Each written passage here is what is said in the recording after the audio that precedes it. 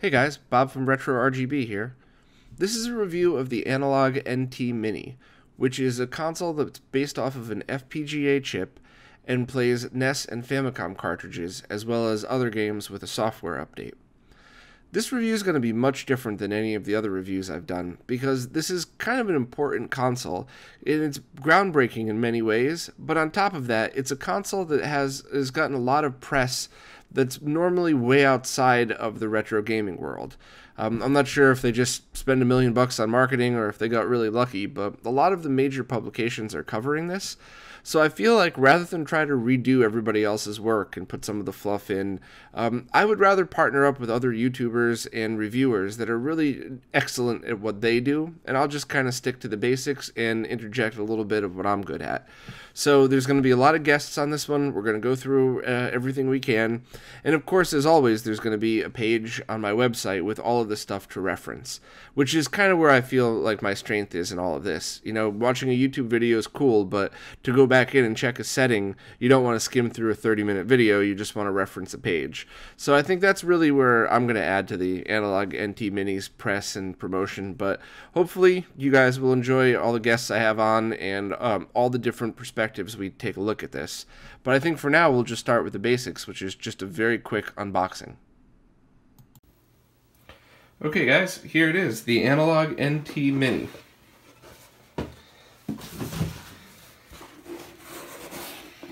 So this thing is definitely one solid piece of aluminum. Got the four connectors in the front. Oh, I love the clear plastic bottom. That's awesome. And then uh, SD card on the side.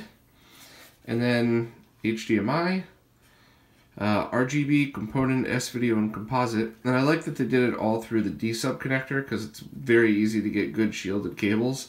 Um, the downside is I'm sure some people are going to think that's VGA, but Nothing you could ever do about that.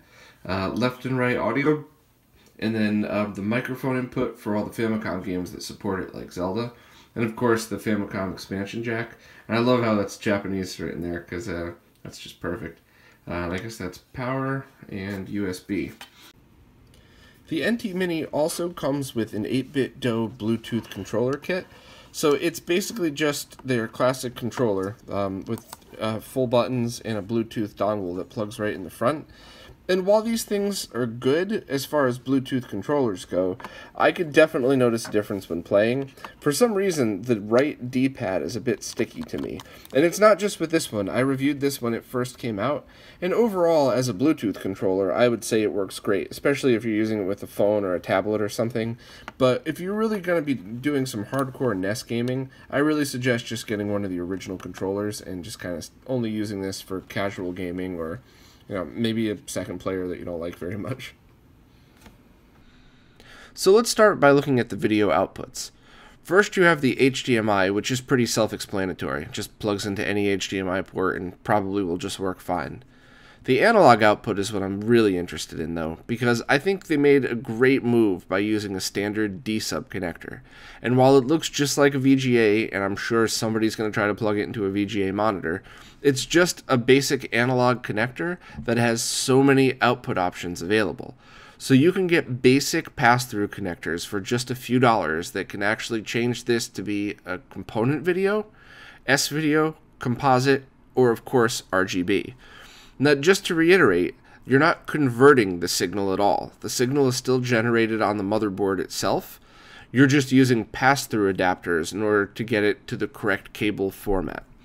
So the way I plan on using it is through a VGA to BNC or a VGA to SCART, depending on my setup. So let's just take a quick look on how I would do that on my current RGB monitor. For analog output, if you already have a SCART set up, you can have a VGA to SCART cable made for you. So if you already have a SCART switch, you don't have to worry about changing your cables. I think a few cable sellers make them, but they're very easy to make on your own. You could just grab a, SCART head for a few dollars and then just get any VGA cable and cut it off. And then just make sure to splice in audio as well. This cable was designed for something else, so obviously you'd want to put left and right audio on it, but it would fully be compatible with whatever SCART setup you had. All it is is just a different cable. I'll be hooking this up directly into my Sony BVM, so you can see I just have two right and left audio RCA plugs that are going to my speakers, but this right here is just a VGA to BNC cable, so uh, you could just see it plugged directly into my Sony BVM monitor. Um, and the one thing to notice is very often you could only find five BNC cables, so you would just leave the last one uh, unplugged. Now I want to take a look at the insides of the NT Mini. The top piece is actually one piece of solid aluminum, and then there's a circuit board inside, and then that clear bottom to it that I showed at the beginning. So I'm just gonna pull the board out, and it's kind of tricky to get out, so I, I, couldn't really get that on film too well. But um, in showing what it actually looks like, you can see that the board is just one piece, and the only detachable parts of it are the two controller ports. Um, and overall, I mean, it really looks well designed. Everything seems laid out very nicely. Um, everything looks very high quality. Uh, there were any crazy wire jumpers going across it or anything like that. Um, you could see the Altera chip, uh, also, that's the main brains of it. And it looks like there were actually a pin header on it as well. Uh, actually, a few of them, one up towards where the LED is. So I'm not sure if there's any more programming that could be done to it that way. But the whole thing is flashable via SD card, so it uh, it seems like just a really well manufactured board. Before I get into the performance of the console, I just want to point out one of the accessories. So the Famicom 3D adapter is basically just an active shutter adapter for a few Famicom games. They had some good ones, like they had the Japanese version of Rad Racer that worked with it, but, you know, they were, for the most part, just okay. If you want to check out a video on them, look at My Life in Gaming, had a little segment on it but it doesn't really fit right. You have to kind of lift up the NT Mini in order for it to get in. And then it's now it's resting on the adapter.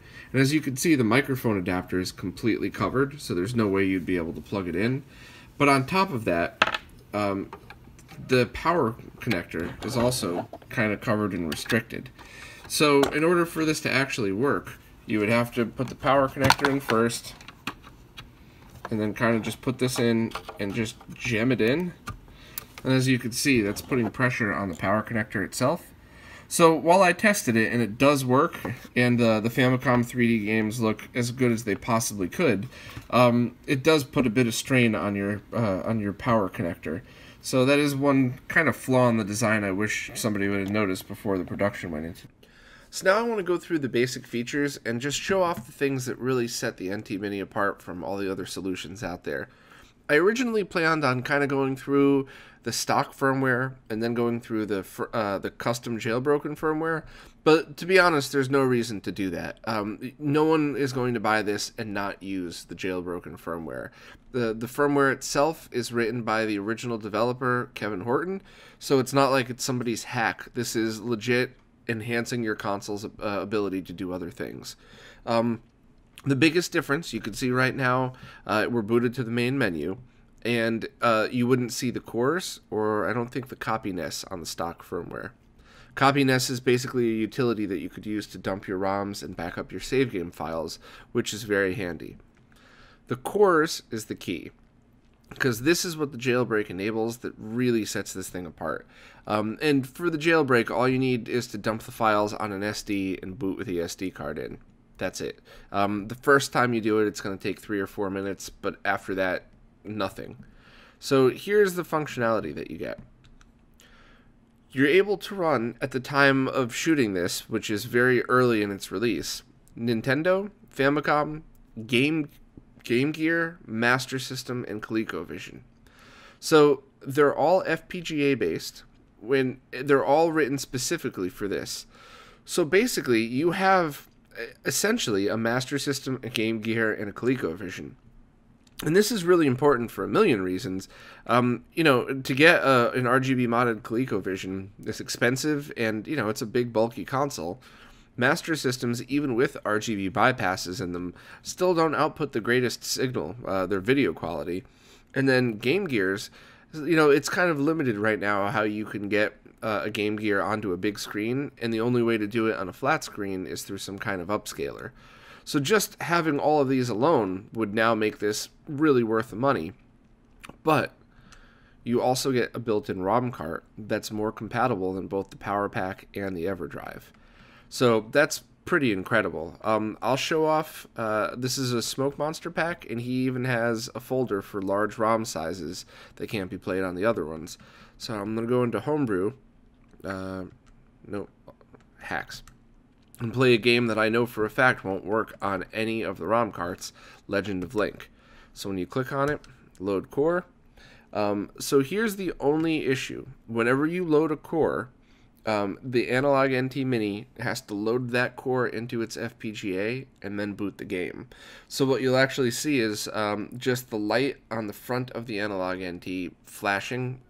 Um, and this can take up to a minute depending on the core. But once the core is loaded, you could switch games pretty easily. Um, it's uh, overall, I don't really think it's that big a deal. I mean, you know, especially when you consider the trade off for what it is that you're getting. But basically, now that the core is loaded, uh, here you go Legend of Link. Um, I guess I should probably just do something just to get it in. There we go. So this game absolutely will not run unless you're on uh, an actual cart, uh, and it will not run on EverDrive or PowerPak. Uh, the in-game menu is pretty awesome too. Uh, save the game RAM, yeah, why not? Um, and now you can go back and choose other games. And I believe since the core is already loaded, uh, it's just going to go right uh, right to it. It's not going to have to reload anything like that. So I'll just load up a quick game that I think everybody would uh, would recognize. Super Mario 3.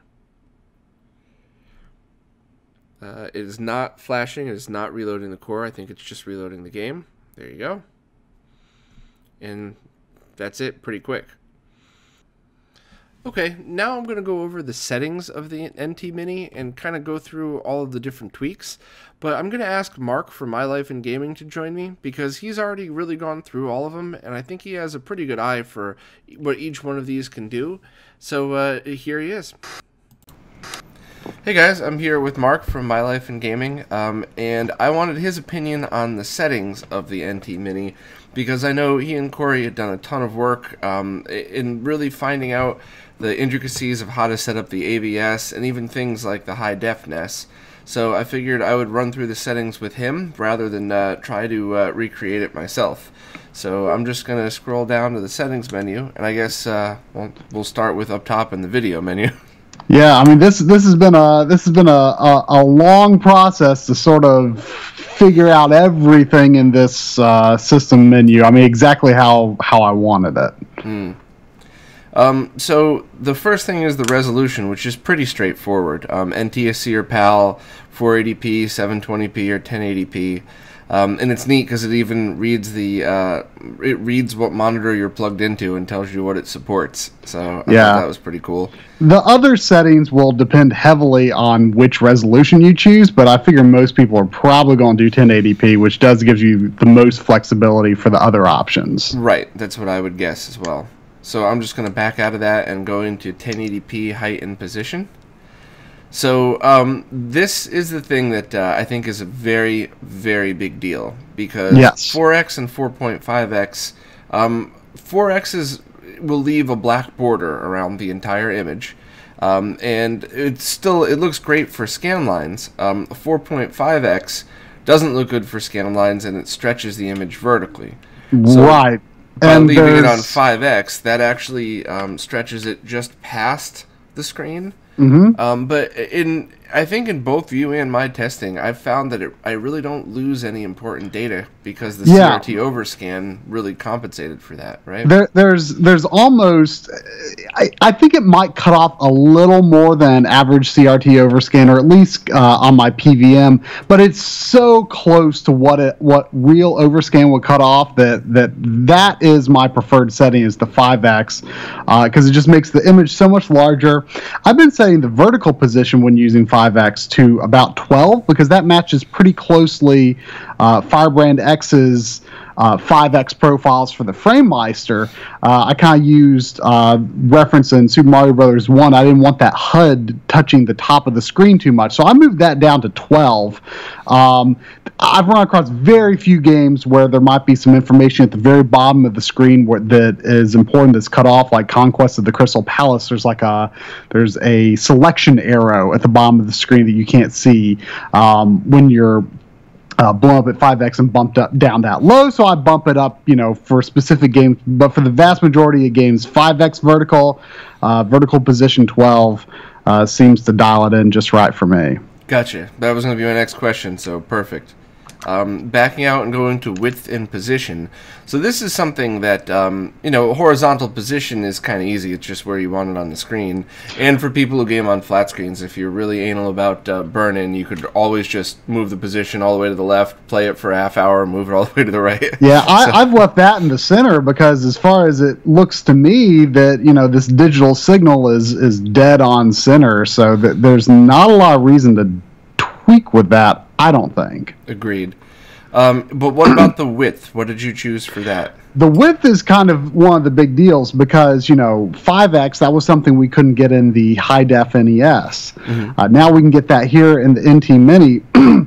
um, you know, I, is is probably a lot of people realize who's listening to this. If you have 5x tall and 5x wide, that looks too skinny to people who are used to playing NES games on on a CRT. On if CRT, you're right. if you if you're used to playing NES emulated, that probably looks totally normal to you. Mm-hmm. Um, but the problem if you go for some of the other sayings to say like four by three for 16 by nine or four by three for 16 by 10, and those by the way still don't look quite right to me in terms of of aspect width. Um, but the problem you get with those is you get get what we've talked about before the shimmer. You've got the uneven pixel columns, and as the screen scrolls left to right, you've got this shimmer effect. Is is the is the is the sprites shrink and stretch in the backgrounds. Mm-hmm. Um, so I like saying that for 6x. That gives you your your pixels are 1.2 times wider than they are tall when you're using the 5x. Um, uh, okay. which it's maybe a little too fat, but it's so close that once you just start playing for real, like your mind just accepts it. It doesn't feel like the aspect is uh, thrown out of whack. Um, so I, I, advocate for 5x tall, 6x wide. But if you if you if you're driven crazy by losing stuff in the overscan, guy use 4x, then um, then uh, you can go 4x tall, 5x wide, but 5x tall, 6x wide is actually even closer to the correct aspect. Okay, and uh, how do you get 6x to the width? Is it to the left or to the right? It's to the right. You can hit the start button to jump between useful numbers uh, on the width. Oh, how about that? yeah, 4X, so there, there's yeah, so you can get you can get by to six. three for 16 by nine. 4 by 3 for 16 by 10 or 6x. Yeah, 6x, you can get to 6x really quickly. And now this is sort of a, a, a trick uh, that I, I, figured out. And I've tried doing similar things uh, like this before, but couldn't quite get dialed in. But I, I, it seemed to work pretty well here. Uh, if you use 4x tall and then set width for 6x, that's obviously going to look way too fat. But if you use your TV remote to change the picture size to squish it back to 4 by 3 that actually makes something that looks really close to the aspect ratio on my PVM. Uh, so yeah, so you can sort of cheat like that using your TV's uh, picture sizing, and you won't get shimmer that way. You know, you have to, as long as the NT Mini is outputting um, an integer scale itself, your TV can, you know, adjust the sizing, and, and that's not going to affect uh, how, how smooth the scrolling looks. Gotcha. I do imagine that different TVs would uh, would do that four x three squish slightly different though. Yeah. So at least on mine, that was what I found: four x tall, six x wide, squished to four x three. Uh, gave me a really good aspect ratio, but the the picture's a little small for my taste, so I, I, I still prefer to use the five x tall, six x wide. Six x wide. Gotcha. Okay, so I'm gonna back out of that and then just leave the horizontal position at forty. Um, for cropping, now I've never really used cropping before. Yeah. That extra garbage on the side doesn't really bother me. No. But I guess it's for people Um, for the games that were designed with CRT overscan in mind, there might be a little garbage flickering on one side. And you Um, can still see it on a CRT even. So Sometimes, that- yeah. To me, that's always just been part of the experience for NES. Yeah, and uh, you know, I, I guess some games are way more annoying than others. So um, for now, I'm just going to leave this at, at its default settings. Yeah, I, it's just got the one. If you if you pull the left crop back a little, you you can see sort of a bit of a line, uh, depending on the game. So yeah, I've left that one crop for all of those. That seems fair to me. Gotcha. Um, and then the next option is scaling. So um, I don't like any of these. No, no. Um, but I'm a purist. I like the way these things looked when we were kids. I don't like the, any of the filters, but the filters No. are, you know, some people really do like them, and it's not a right or wrong. It's all just whatever you prefer to look at. Yeah, something that I thought might be interesting would be combining one of those with scan lines because I thought it might kind of make sort of a smooth look that might kind of imitate like a, a PVM or a CRT. And um, unfortunately, that didn't really create that sort of feel. So, yeah, I haven't fooled with scaling any for, you know, for real. Gotcha. Um, now, scan lines. Um, how do you feel that they looked with 5x scaling? Um, I actually think they look pretty good. They're they're they're definitely a little thin, but um, I, I- I think I think it's pretty good. Um, And what I'm did you set it to? Original 5x? I just said to original because if you click on the others, uh, as far as I can tell, it's just putting those scan lines into position where they should line up if you were scaled to that, you know, a 2x scale vertical, a 3x scale, 4x, 5x vertical scale. So I don't see any reason to use anything other than original because that puts the scan lines in the correct place for the, the scaling, the, the vertical sizing mode you're using. So I don't really understand the point of the other. Okay. Um, uh, so yeah, and then the depth. Um, I you know I've just got the default is 80. I've got there right now. I think I'd had said something else another time. The one thing that I wish you could do here.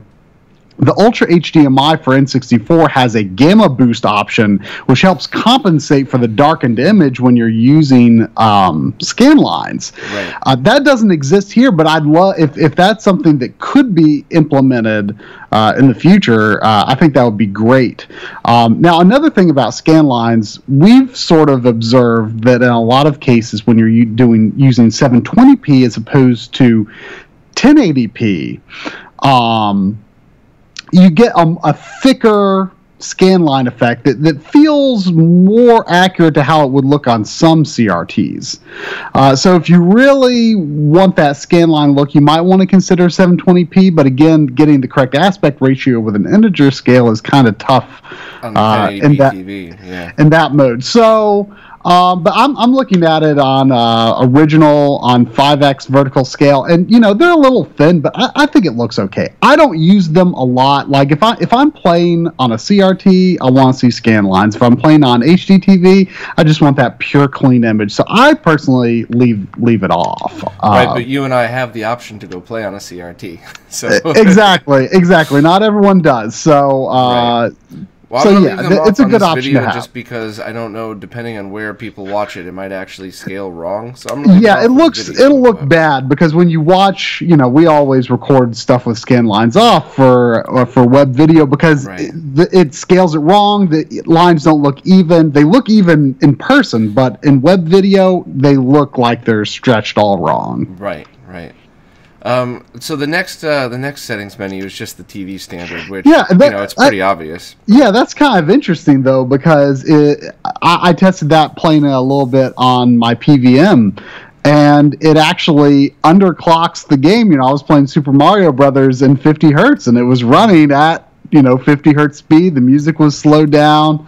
Um, so That's pretty for, neat. for games that were not properly optimized for PAL regions, you could use the NTSC card to get a fairly close approximation of uh, of what that experience was like. So I'll you know, just for I don't day. know if you could run a PAL game and then speed it up correctly Mhm. uh, using that. So there, there could be something to that, but for the most part, you're not going to be changing that. Right, right. Um, and then analog RGB mode. Um, that's uh, that's pretty awesome. So basically, almost anybody that would use this would just leave it with the basic option, which is uh, RGBS, so your standard RGB outputs. Um, and then C-Sync. Right, and then separate sync, I believe, is just RGB HV. So this isn't really something that's common. You would really notice this more with things like capture cards or certain processors that um, require sync being separated. But that's not a quality thing. It won't affect that at all. Um, and then finally is just sync on green, which people might ask, well, why would you even bother? Well, if you happen to have one of those VGA to um, RGB dongles, so it doesn't convert the signal, it's just a little breakout thing, you could just use standard RCA cables into a BVM and then just do it that way. So um, I'm just going to leave mine on the default because it works perfect. On my Yeah, I mean, I, I figure anyone who needs either separate sync or sync on green, that they already know They already know what they need. You know, Good so point. yeah, Um, and then the last one is the one that I'm really excited about. Yeah. Is the palette. that's one of the best features in the system. because he has uh, one of the FirebrandX palettes on there, but um, you know Wolf is always changing them and adding them and, and really just tweaking them.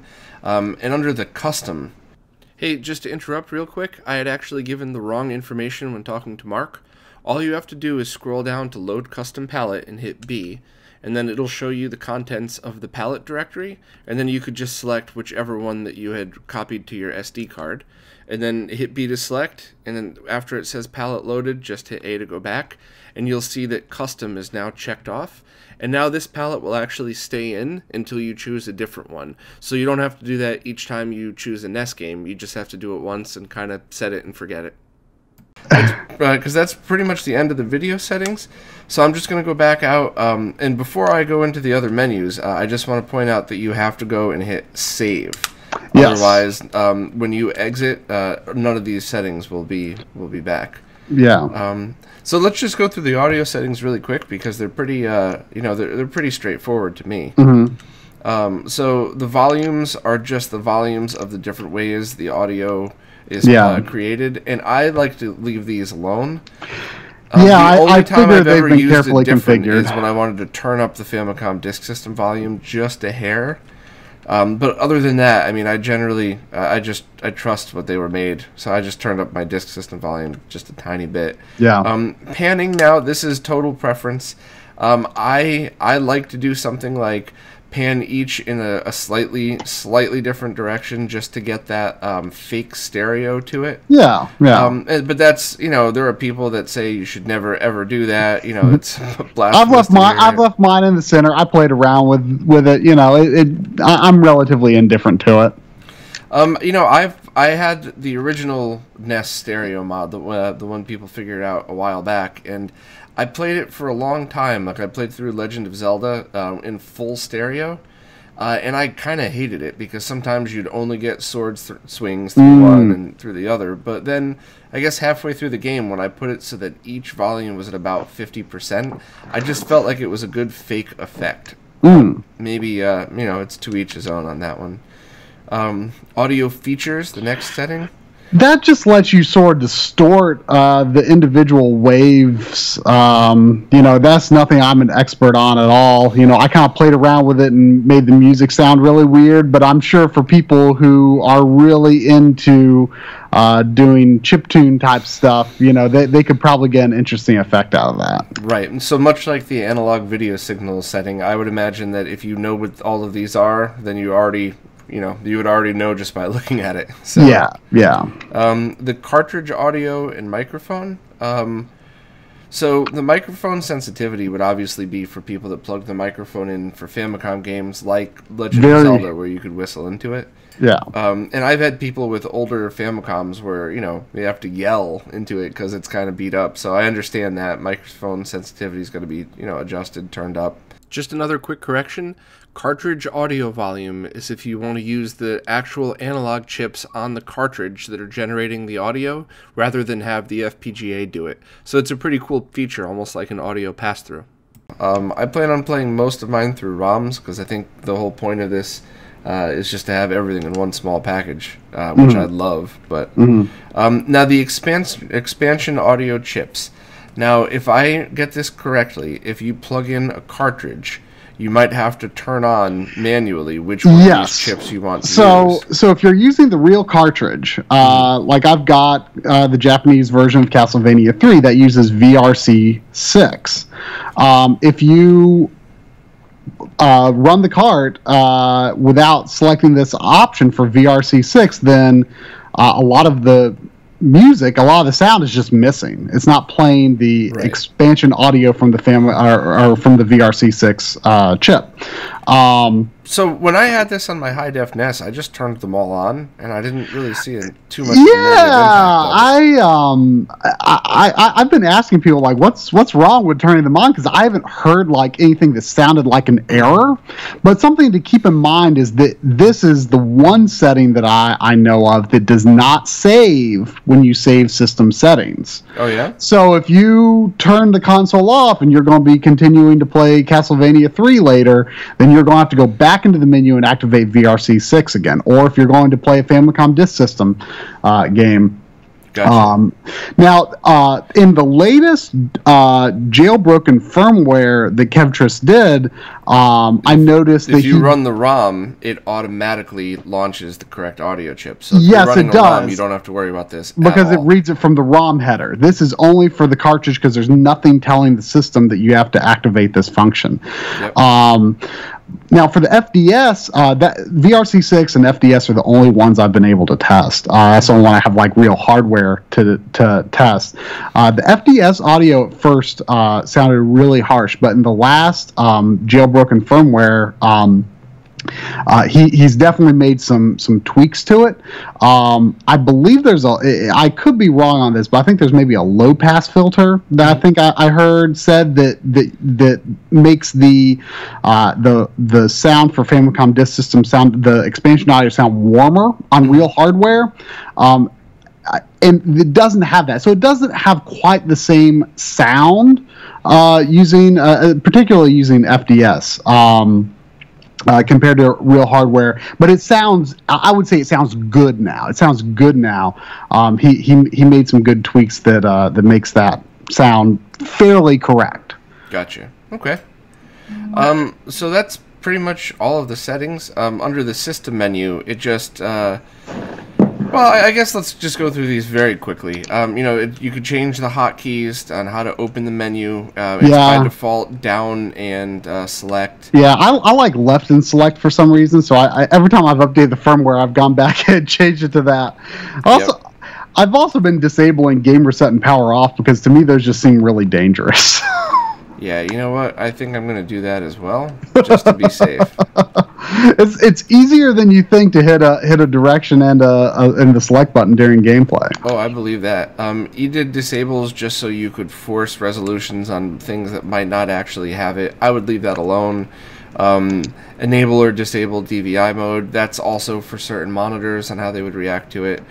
Um, LED settings is pretty cool. You could uh, Yeah. change um, the color, the speed, and everything else. I kind of like that. Um, Yeah, I've, I've been use I've been doing the cycling pattern and then setting the speed to the slowest, and it just changes the L- LED on the system to all sorts of different colors. I I think it's pretty fun. Yep. Um, and then uh, startup settings. Um, title, then menu. Title. The title the title has an analog logo that pops up, um, and I, I don't really see you know any particular need to wait through that. So I would say either just go straight to the cartridge if you're not if if you're really only u- using it for real cartridges, or go straight to the menu if you're going to be doing something like launching ROMs with the jailbroken firmware. Yeah, definitely. And uh, controller mode. Um, so the the four score adapter and then the Famicom four player. If uh, the games that you're using support those, you could uh, you have to switch it to that in order for it to work correctly. Is that Uh, yeah, I think so. I've actually not yet tested any uh, games. Like I've got um. Any four players. Yeah, I've got uh, Rockboard um, for the Famicom, which I think might uh, might use the Famicom uh, four player. Um, and now number of sprites. So the limit of the NES is eight sprites per scan line, which is why a lot of times you get slowdowns. So much like the AVS, you could increase the amount of sprites per scan line. Um, and uh, some games glitch with this, but the ones that don't, um, I, I think it kind of You don't notice it too much, but it's kind of neat that it doesn't slow down as much. Yeah, it, well, it, I, and and it just doesn't have the flicker. You know, a good example would be like Rush'n Attack because you've got uh, all these guys coming at you from left and right, and you know, and they, they just flicker like crazy. Um, I, have not run across any specific issues where I could tell that the game wasn't operating correctly, but I, I generally leave it off because again, you know, kind of like the the cropping setting. You know, all that junk on the side of the screen is just an accepted part of NES to me. Same thing with the sprites. Sprite flicker, it, it's just just part of it. It's funny. I'm the opposite. I, I'd, I'd, like it on the higher setting, and then I'll go back and change if I find uh, any any problems with mm. it. um, so in the menu button mapping, um, that's yeah. uh, that's just basic to, to what everything does inside of here. So yeah, it, it, by default B is confirm and A is cancel, which is reverse of the NES standard. That was uh, that was something that I complained about uh, when when uh, when I first got the system. So uh, thankfully, you you can make a confirm and b cancel uh, as is standard now. Gotcha. Um, so I'm just gonna run Contra real quick. So um, you guys, My Life in Gaming, are having a video uh, coming up on this pretty soon.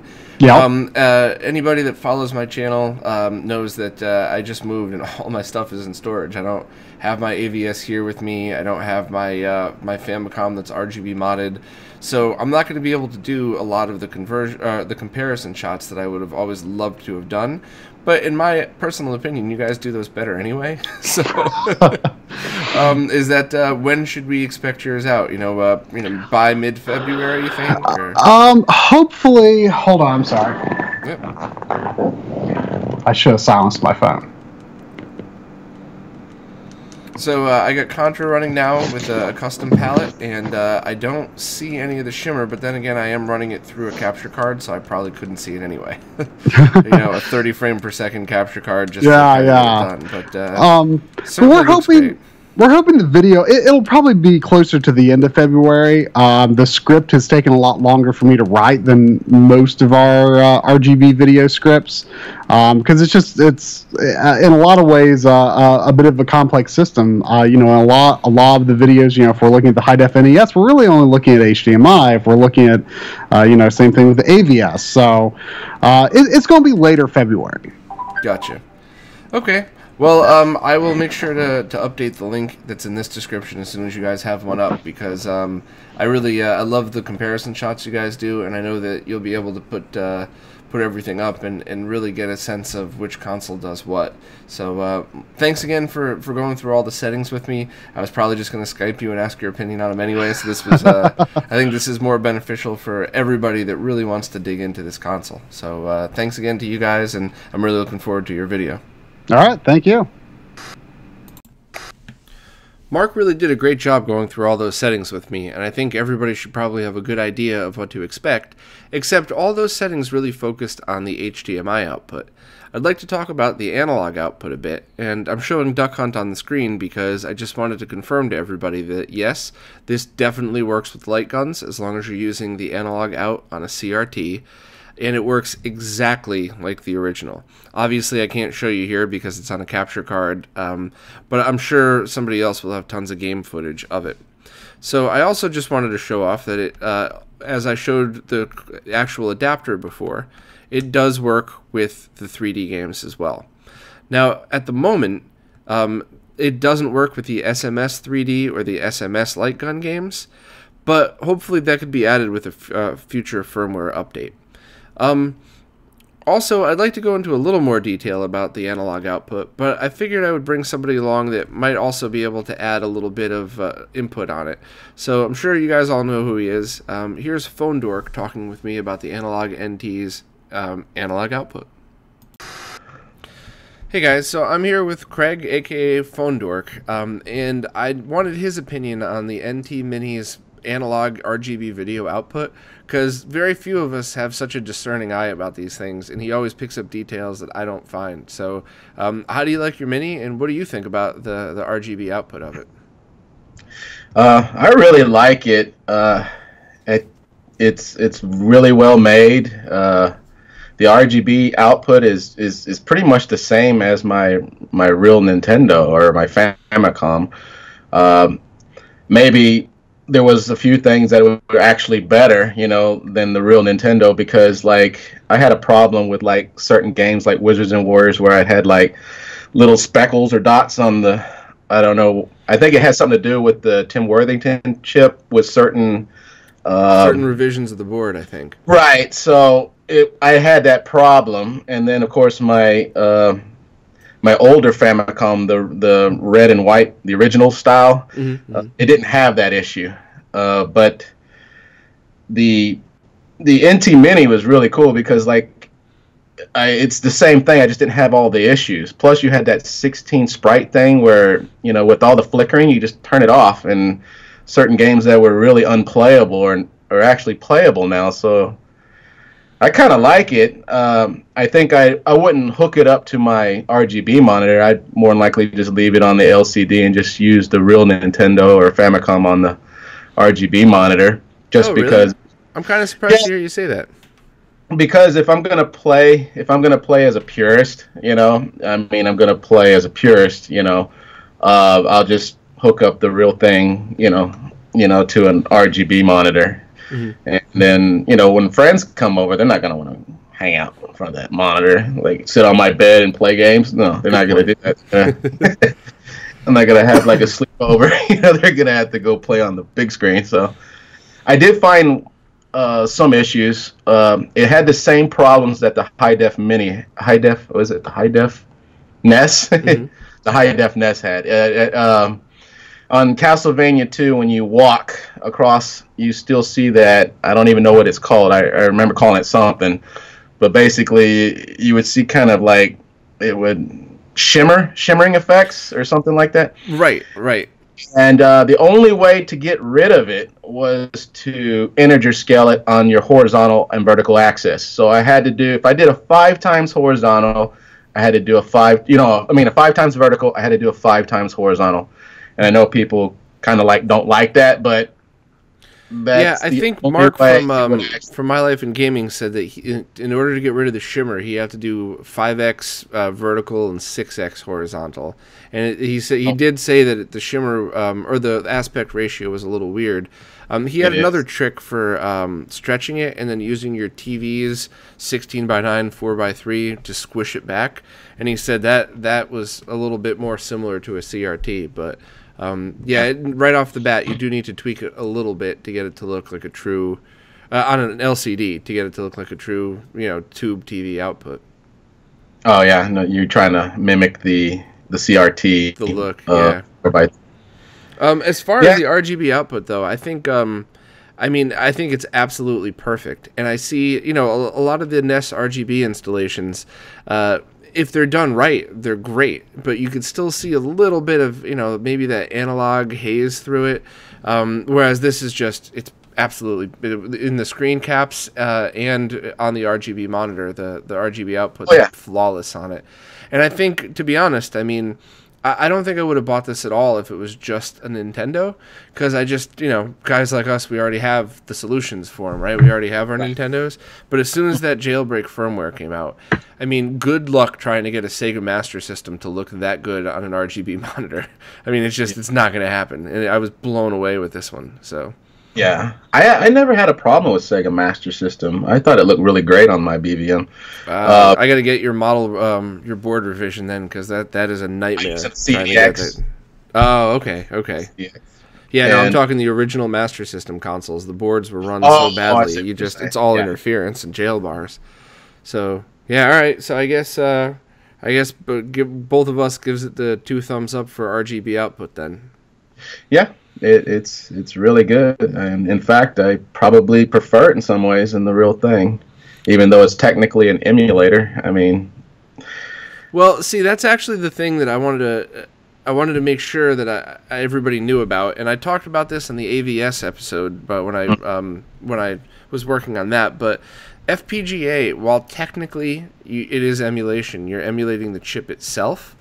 And um, Kevin even said when you put his through a logic analyzer, it looks excuse me, it looks identical to an original to the point where the 3D glasses still work and light guns still work because it is pretty much identical. So I don't know if I would actually call this an emulation console because I, I think it's a step above that. But uh, Okay, I guess that's um, I guess that's uh, you're gonna you have a video coming up that talks about emulation and, and different ways to do that, right?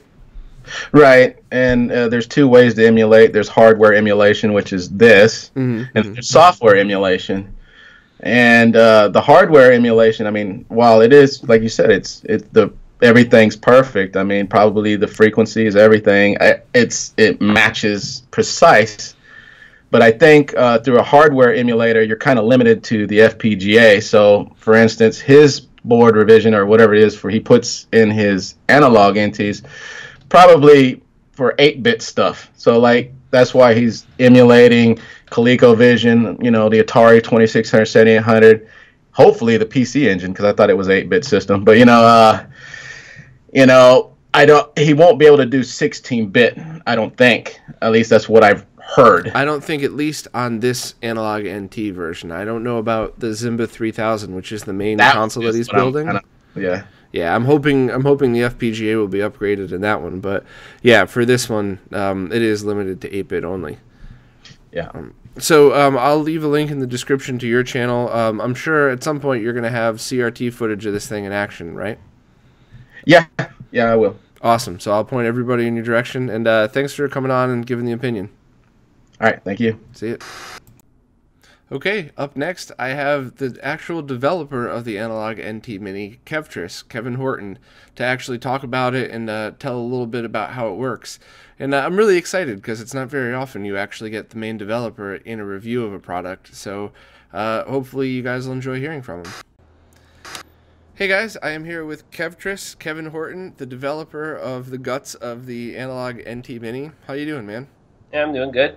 Thank you again for doing this. Um, Uh-huh. You came on. You were one of my first interviews when I started my podcast, and uh, uh, I'm so glad you did it because nobody was watching it back then. And in hindsight, a lot of people have gone back and saw it. Uh, it was really great. Everybody enjoyed hearing from you. So uh, I'm glad to follow up now on this uh, on the Analogue NT Mini and the things that you've done with it. So um, the excuse me. So the NT Mini, the, um, that's uh, basically just an offshoot of the thing that you talked about on the original interview, the Zimba 3000, correct? Uh, it's it shares some some hardware similarities. Both are FPGA based, but yeah, they're separate products. Gotcha. Yeah, the Zimba 3000 is just something I've been working on, and this is a different project totally. So the basic, and please correct me if I'm wrong, but my understanding is that the idea of this, of the Zimba 3000, and then of course this, is that you're you doing FPGA emulation. I hate to use that word in conjunction with FPGAs, but that's um, that mimics the hardware exactly. So you have different cores that are identical on uh, even through a logic analyzer. So for like the NT Mini, um, it, it, it basically essentially outputs identically to an original Nintendo or Famicom system. Yeah, within reason. I mean, there's possible there's things that aren't 100% exact, but cycle wise, everything should be right. Like the composite video, it's an exact replication of the composite video out of the actual NES. Gotcha. Um, so that's uh, I mean that's all very impressive and everything, and the fact that I knew that you were integrating that into the NT Mini, I, I actually liked that a lot more than the original iteration of the Mini and at, the, at or the NT, which at the time, of course, you know that was their only option. But Uh-huh. having something brand new from scratch like that and and a nice case was very cool. And I played around a lot with the NES emulation at first, and it, it was really great. And it was um, it's good in my opinion, that it has both analog and digital outputs. But once the jailbreak firmware came out, that's when I, I you know, my mind was a little bit blown by it. I was just really impressed. So, um, but when you released the firmware uh, for it, you had mentioned that you were going to do a couple other con- or try to do a console a week or something like that. Yeah. Um, and in your first update, um, you had uh, I think four consoles, right? ColecoVision, Yeah. SG1000, Master System, and Game Gear. Yeah. That's pretty incredible. Um, are you able to talk at all about what you're working on next and, and what's coming to expect? Well, you saw, you know, I don't know if you saw my list or on the AtariAge forum, but I have a list, but it'll be out of that list. But I'm working on several different ones at, at one time. Like right now, I've been working on Game Boy and 2600 and 7800, so it'll be probably one of those three. We'll see. That's pretty incredible. And the the handheld stuff to me is just Um, that's awesome. I mean, you know, there's no there's no reliable solid way to play Game Gear through HDMI now. You could do the RGB and VGA mods and put it through an upscaler, and it looks great. But just to have this, you know, do both analog and digital for that, um, I, I was playing a whole bunch of Game Gear games the other day on it, just really enjoying it. Well, you know why I did that core? I wanted to play the Game Gear Sonic games. That's why I made that. Yeah, Tails Adventure is a fun game. It's funny too because it's not a fast-paced Sonic game, but it's only available on Game Gear, and it's I I enjoy it. I really like it. So. Uh huh. Yeah, I liked all the um all the Sonic games, and it was a Sonic machine. And if anything else ran, well, that was a good good thing. but I wasn't really trying to get anything else to run. And then in the last week, I was working hard and fixed all the bugs in it. Mm-hmm because I had a lot of bugs, so I fixed all of those. So just about everything runs. There's only two games that are a little flickery on the interrupts, but I was like looking on the internet, and all the other emulators pretty much have that problem too, because there's something in the hardware that isn't known yet, I guess. Gotcha. Um, so when you um, I just uh, I just had so many questions. I just lost my train of thought on that one.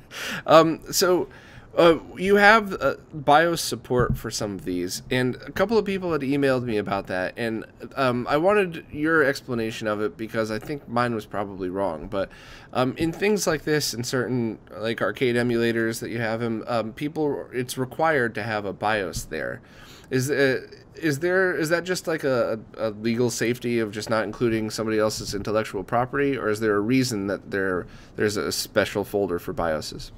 Uh, there's a special folder because um, all the BIOSes, bootstraps, or whatever you want to call them, are all going to be for all the systems. Will be in there. So as I add systems, they will all go in that one place. Gotcha. Gotcha. Otherwise, if they were in with the other ROMs, you you know it'd be a lot harder to deal with it. Mm-hmm. So they're kind of hard coded to load out of that one place. Gotcha. Makes sense. Okay. That's why the file name has to be a specific thing, is because I look specifically for that file. That makes sense. And in your README files, like I was doing the multiple versions of the Master System BIOS, uh-huh. and I just followed your naming scheme, and it was very cool to be able to switch through them like that, just to see. Yeah, yeah, yeah. And on the Master System, it's kind of hard because some games won't run depending on the BIOS you select. Mm-hmm. Like yeah, that's right. Because some of them require the um, the Japanese version or some, like the U.S. version and um, you know, like with the FM too, sometimes you have to turn that off. I found a couple games that, cra- or at least one game that crashed when the FM was left on. Why I don't know, but hmm. interesting. It, it's a known problem. That's why if you buy one of those FM adapters, it has a switch to turn it off. That's one of the reasons why you have you can turn it off. Gotcha, gotcha. I think there's one. Well, I think what happened. Um, the code is in there to detect it, but I don't think the music is actually in there. So when it tries to play, that's what crashes it. I think is what it was. Gotcha. Okay. Um, I didn't have the FM sound games that I de- excuse me that I tested sounded great and nothing crashed on me. So. Uh-huh. Um, I did have a, a, question about SMS stuff. So I tested okay. a bunch of different NES light gun games. All worked perfect. Very cool to to have that, um, as well as the Famicom 3D games. There's only a few good ones, but it worked perfect with the adapter. I have the adapter laying around here somewhere. Um, but the SMS 3D and light gun games, do you have a way to support those in the future? Because um, they wouldn't work with the NES Zapper or the NES yeah, 3D. Uh-huh. I was thinking, well, hmm, I could make it work with the Zapper. I didn't even think about that actually. I theoretically could support it. Or you know what? Hmm. well, you mentioned that. I'm going to put that in the um, my uh, to do here. Let's see. Awesome, because you know light gun games kind of have a special place in my heart, right? Because if I sit down and play a Zelda, I, I could drop an hour on that, no problem. But light gun games, that's like five, ten minutes of fun, you know, and it's just yeah, I know, uh, yeah. yeah. and it's very often that I'm like, well, I got to be somewhere at six. It's five forty-five, and you know, screw it, let me just go shoot some ducks for ten minutes. So it's uh, yeah, it's pretty cool about that, but. I just added add light gun support to the master system. So. Thank you. Um, so I will think about that. What I was thinking on the glasses, um, since I made a 3D adapter for the uh, Vectrex, did you know that? I did not. No. Yeah, it uses like LCD shutter glasses, so you can use oh, shutter wow. glasses on the Vectrex 3D games, and I was thinking about putting the glasses port right on the cartridge adapter I want to make for the Master System, so you can plug them right into that. That would be the perfect solution, in my opinion. Um, you know, more. Yeah, that's that's great. And where would the cartridge uh, adapter plug into? The USB port or the the no, Famicom right in expansion? right in the, the top, like the like the NES or the Famicom slot. So you just Ah. boop, plug it in there, and then it has the, the connector on top. It's kind of like those retro adapters. Yeah, yeah, that's a great idea. Huh. All right. Well, well, I'm excited now because you know there's more Sega 3D games that are fun than uh, the Nintendo ones, and you know I think there's only like ten of them or something, but a couple of them are great. Like uh, Maze Hunter 3D, like it actually uses the depth of field as part of the game. Yeah, I wanted to play that after I after I ran it. I was like, I want you know I want to play that. Yeah, it's a cool So- game. That one and um, you know, of course, Space Harrier 3D. It's always fun to do that game, but you know they, they have a couple of good ones in there that are worth it. So I'm, I'm glad that's on your list of eventually Uh-huh. get to. Um, do you know when there would be an expected release time for the cartridge adapters? Um, I was gonna work on it this week and next week. I was gonna post it on AtariAge. So I was gonna make some circuit boards and post pictures of them on there. So I mean, it's not gonna be that hard. When I have the adapter, since this is an FPGA, I can make that adapter work with a real cartridge in just a couple hours. You know, it's not very hard. That's awesome. Okay. Uh, just, I mean, making the circuit boards isn't going to be hard either. It's just wiring a cartridge connector up to like an NES connector, and just you know, it's like just pin mapping. There's no electronics. Gotcha. So it sounds like something that'd be available within a few months then.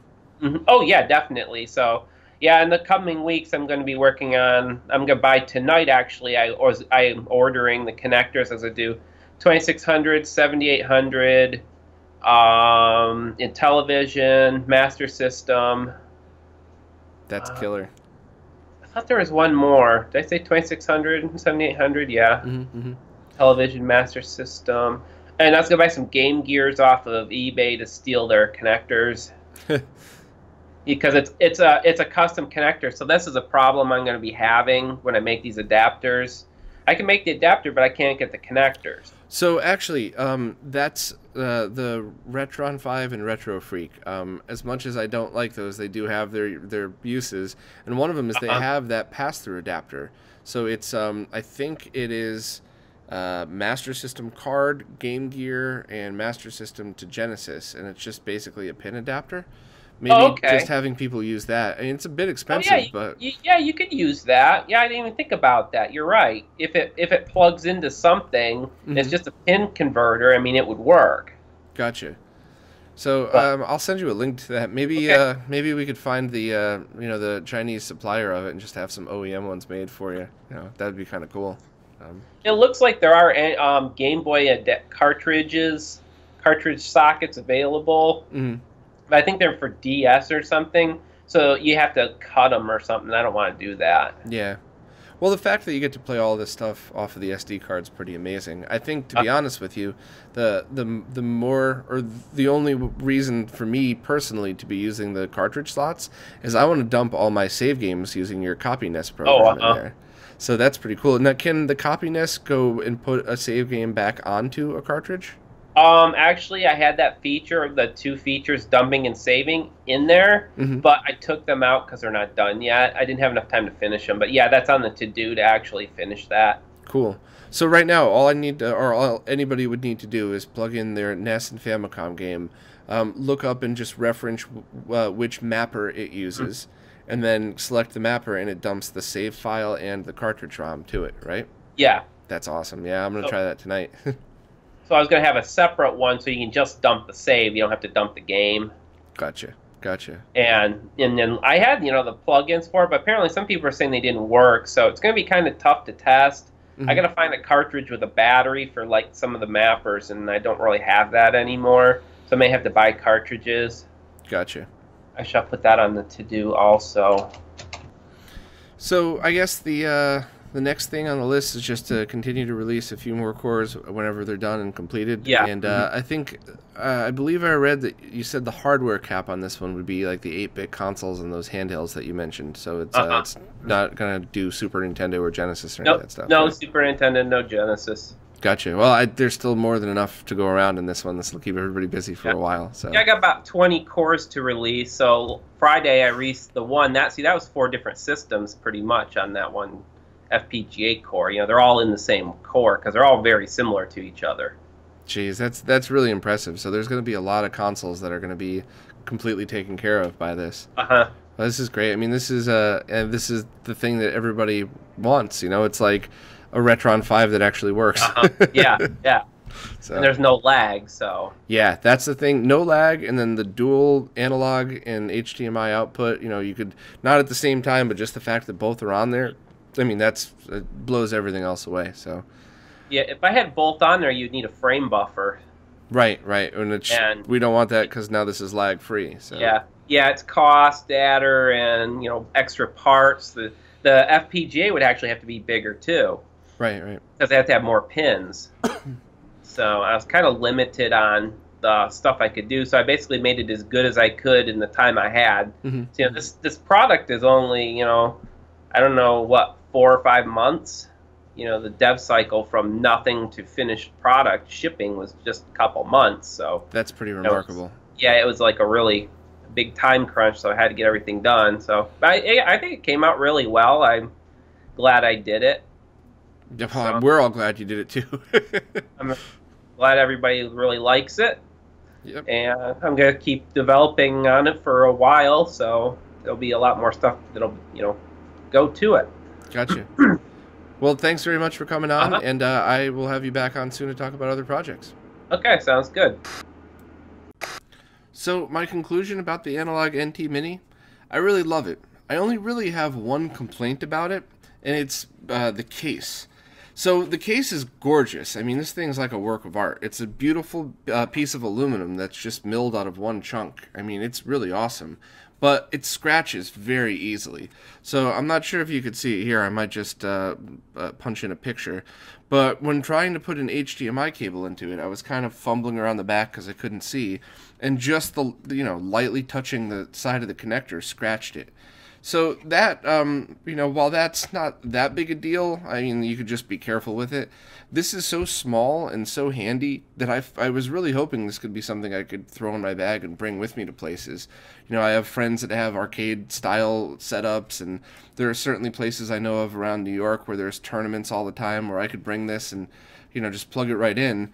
But it's just not something that I could do with this. Um, also, this has got to add a huge amount of cost uh, to the unit itself, and I, I really wish they had two options. You know, this you know, the high end Lexus, if you would, and then maybe the stripped down bare bones Toyota. And you could do that for a much more cost effective way by using something like uh, just a, a clear acrylic case, which is what a lot of the guy, a lot of the people that do their own um, small scale projects use. Um, and even this developer, while I love this case and I think it's, you know, I think it really fits nice, um, he tried an all metal enclosure and it was gorgeous, but it would have added a ton of cost to the product. And he wanted to get this in more hands or in the hands of more people. So he just tried to cut costs and make it as, as inexpensive as possible. And I wish that Analogue NT would do the same. Um, I, I wish that they would concentrate as much effort on being a product to get into everybody's hands as making a gorgeous product. So we've already heard from Kevtris, and we know his intentions of the guts. Um, I really hope to have Chris Taber, the CEO of the company, on to kind of talk about that himself, because it's really it feels unfair for me to speculate without him here to defend himself and his actions. Maybe there's something in the works or not, um, but to have only a really expensive model like this up um, and to bundle it with the 8BitDo controller and everything, there's obviously room to pull cost out of this to make it more available for other people. So the cost itself is not what I'm complaining about, especially when you compare it to the other options. So the next highest option would be to get uh, a high def NES modded original console with a ROM cart, and that essentially would be a, you know about 400 ish give or take. So now you know just that alone is is approaching the cost of this. And when you figure in all the other consoles it can do, now you're immediately saving money, not losing. But then, you know, you could also step down the ladder and you can go to the AVS, which only outputs 720p, but that is another FPGA based lag free solution that plays great. So that plus a ROM cart is about 300.